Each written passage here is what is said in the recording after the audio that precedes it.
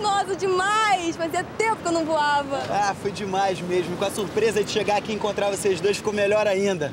Rodrigo, essa é a Gracinha. Oi, Qual é a gracinha, beleza? tá bom?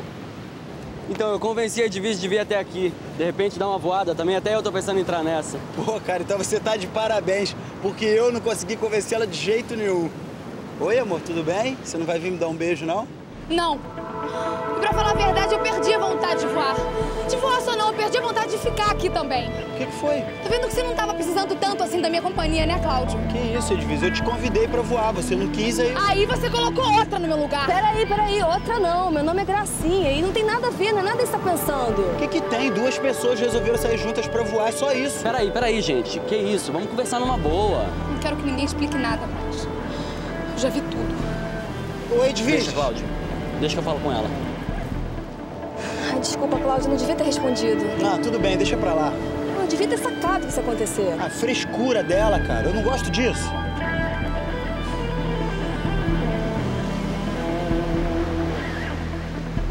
Pô, você nem deixou o cara falar. Pensa um pouco, ele não ia fazer uma sacanagem dessas. Rodrigo, eu agradeço a sua preocupação, mas me deixe em paz, que eu quero ir pra Mas casa. conversa com ele, a gente pode voar Eu não depois. quero voar, eu quero ir pra casa. Tá bom, eu te levo. Não precisa. Precisa sim. Eu te trouxe, eu te levo. Pô, tá aí toda nervosa, não vou deixar vocês sozinha. Vamos nessa, depois eu falo com o Cláudio. Bom, a matéria está na apostila. Vou pedir para vocês lerem com atenção, com cuidado. Qualquer dúvida nós tiramos na próxima aula. Tá bom? Alguma pergunta? Professor, eu tenho dúvidas, mas são dúvidas existenciais. Eu queria saber se você resolve essa parada também. Dúvida existencial não cai no vestibular, né, Carlinhos? E vindo do Carlinhos só pode ser mulher. Diante desta gracinha, acho melhor encerrarmos. Até a próxima.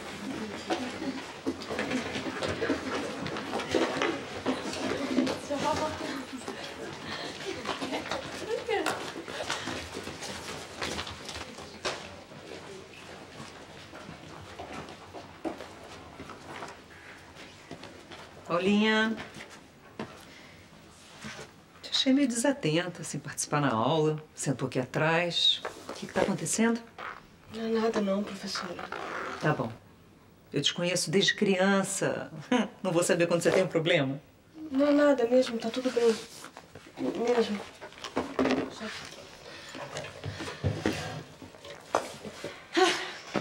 Tá bom. É a minha madrinha. Eu moro com ela, a senhora sabe. Ela vai se mudar para o interior de São Paulo e eu não quero ir. E você é obrigada a ir?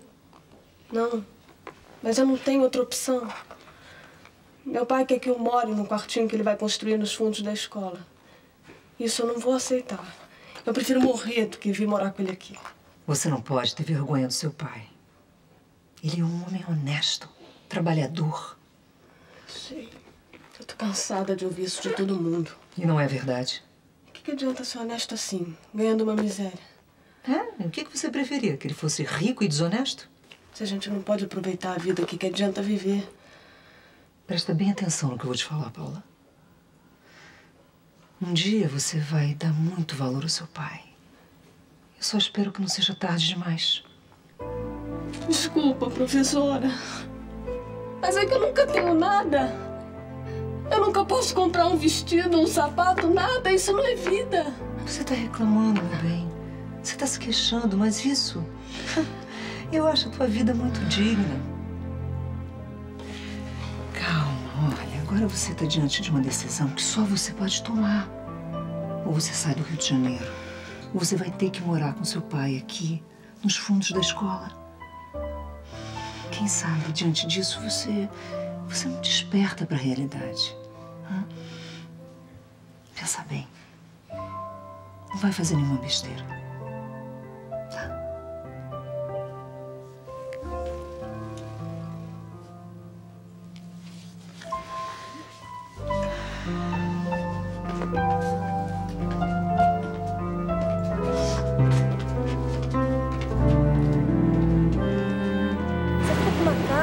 ter vindo. Ah, você é essa, Gracinha. Você não teve culpa de nada. Ah, mas se eu não tivesse respondido, Cláudio. Mas essa minha mania de levar desaforo pra casa... Ah, esquece isso. Já acabou. Agora o melhor que a gente tem a fazer é ir embora pra casa. Vamos nessa?